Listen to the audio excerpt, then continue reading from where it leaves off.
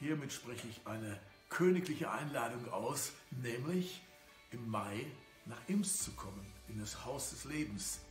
Imst liegt in Tirol und ist ein wunder, wunderschöner Ort mit vielen Möglichkeiten des Wanderns und äh, die längste Rodelbahn Europas ist ja, glaube ich, Trockenrodelbahn. Das macht unheimlich Spaß, aber es geht eigentlich um mehr. Es geht um das Thema Heilung. Wir gehen in der Zukunft verstärkt, verstärkt in diese ganze Dimension von Heilung hinein. Ich spüre, dass das der Geist Gottes sehr betont. Die Welt ist so krank, viele Menschen sind so krank. Und es geht darum, dass wir dasselbe erleben, Heilung selbst empfangen im, im ganzen Umfang und dann aber auch das zu tun, was wozu Jesus uns beauftragt hat. Ja, geht hin, verkündigt das Reich Gottes und heilt die Kranken, reinigt die Aussätzigen, macht die Blinden sehend, die Tauben sollen hören, die Lahmen sollen gehen und Tote werden auferstehen. Ja, umsonst habt ihr es empfangen, umsonst geht es weiter.